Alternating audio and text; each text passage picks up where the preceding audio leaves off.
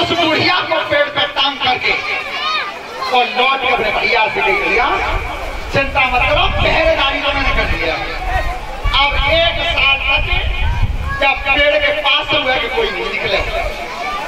ध्यान रखना, जब पाँच और भैया खड़े द्रौपदी बीच में थी।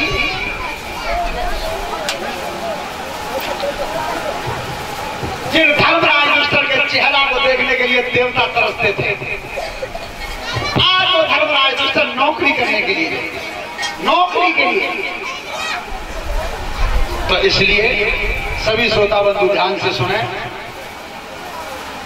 प्रकृति का नियम क्या है? अगर कोई पूछे बच्चों आपसे कि प्रकृति का नियम क्या है? तो प्रकृति का नियम है परिवर्तन। परिवर्तन। बदलाव। प्रकृति का कोई नाम पूछे तो प्रकृति का कर्म है परिवर्तन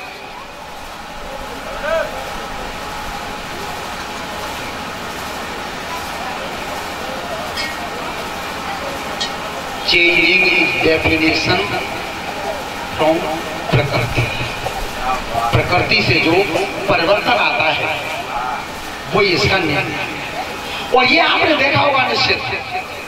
करोड़पति खाकपति बनते हुए देखे होंगे और खाकपति करोड़पति बनते हुए और यही बदलाव प्रकट की जाती है। आज इस दूसरे महाराज के चेहरा को देखने के लिए देवता करते थे, आज वो नौकर बन के जा रहा है। सबसे पहले नहीं जाऊँगा, क्यों? वो सबसे ज़्यादा बुद्धिमान थे अगर सबसे पहले मैं पहुँच जाऊँ तो अपने इनकी धरती सरल है जा रही। तो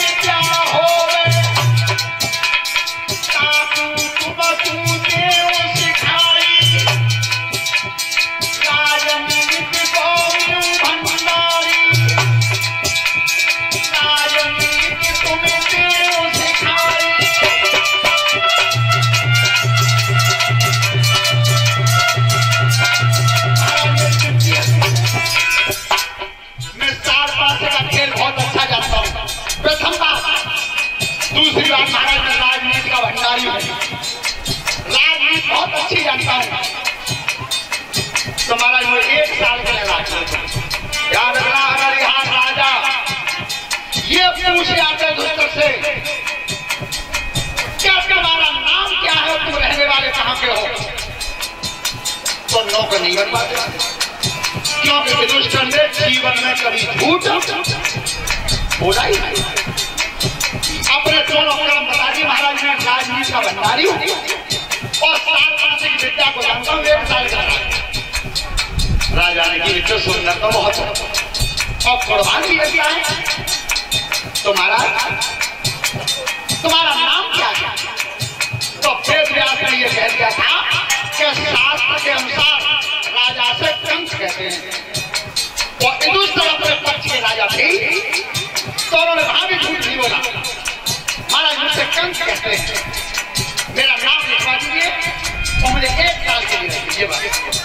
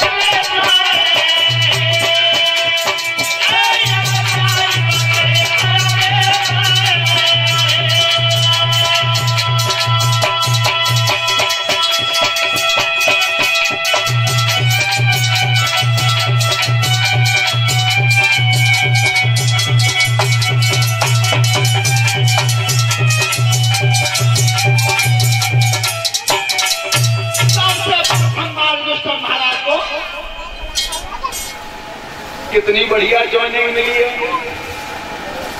मंत्री बन गए राजा के।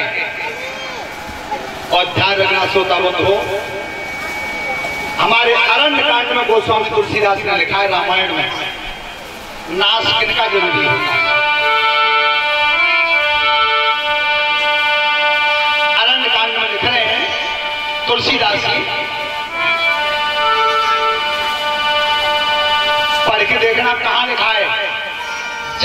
सूपन खा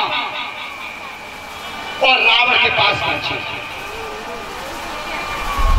सूपन खा का जो करेक्टर आप समझ रहे हैं, वो नहीं है। न ऐसा उसका कोई विचार था। एक चीज़ तो सुनी होगी। रामायण किन के आए हाथ उठाना पहले। बहनों, तुम उठाओ रामायण का उगना है।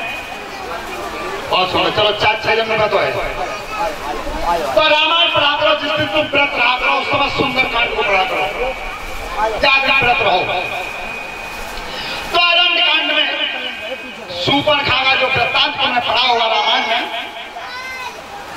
उसने शब्द बोला था, भगवान राम से तुलसीदास ने चौपाई में लिखा है तुम सम पुरुषम मौसम ये बोला था। उसने कि तुम सम पुरुषम मौसम नारी?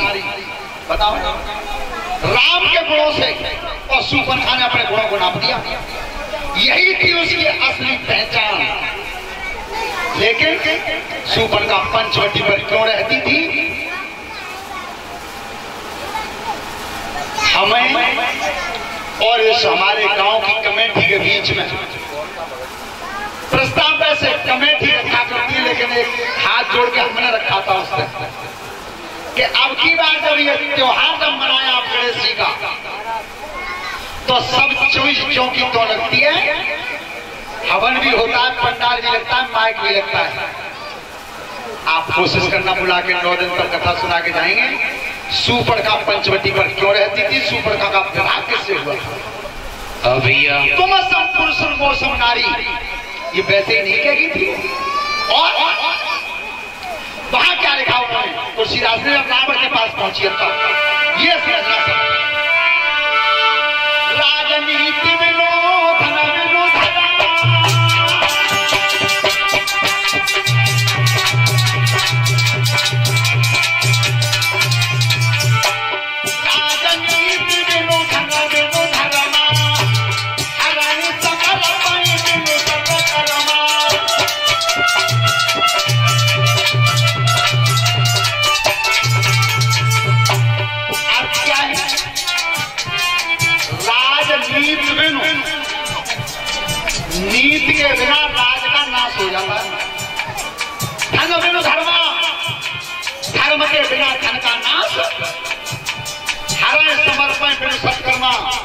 अगर तुम्हारे शरीर से कोई बढ़िया कर्म बन गया है।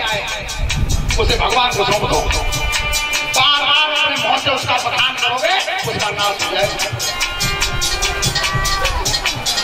आगे चलिए संगत